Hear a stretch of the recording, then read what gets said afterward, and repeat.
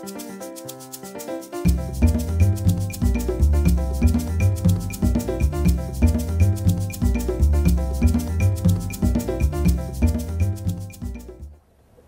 uh, welcome back to uh, Ceja Vineyards. As you can see, uh, uh, someone said if a bocce court is fun, well, we are going to double the fun. We are currently uh, making a second uh, bocce court. A lot of individuals have the uh, the idea uh, that the Italians uh, invented bocce, and you will find that actually this game of bocce, its origins, they go back probably some 5,000 years based on the science of uh, archaeologists.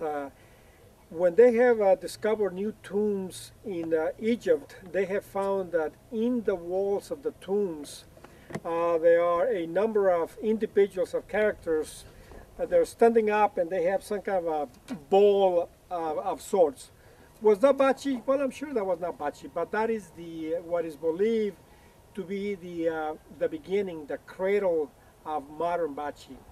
The major contribution of the Italians is that right after World War One, right around 1917, 1918, they organized the first world tournament of bocce, and so they were very instrumental in setting up. Um, rules, dimensions, so on and so forth.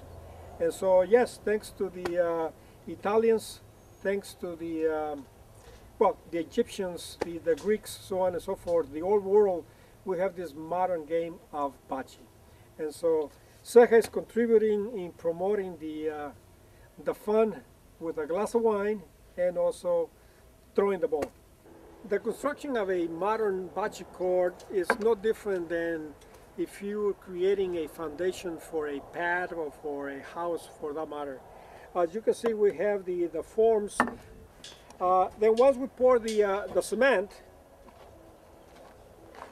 we're going to be uh, creating a bed of three, uh, approximately three to four inches of heavy rock.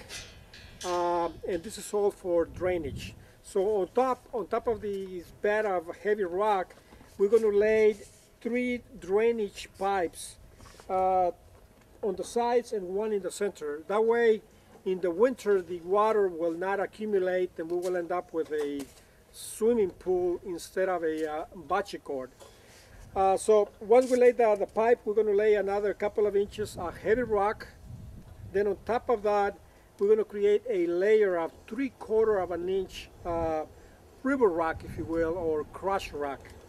Then on top we're going to uh, create uh, another inch or so of sand and then at the very top we're going to terminate it with approximately three to four inches of crushed granite. Thank you for uh, joining me in showing you some details as to how to make a bocce court. I can assure you that making a bocce court is almost as fun as playing a, a uh, game of bocce. Whenever you find yourself in Napa, please come and visit us. I would love to share a glass of wine with you and also show you how to play a game of bocce let the good times roll. Salud!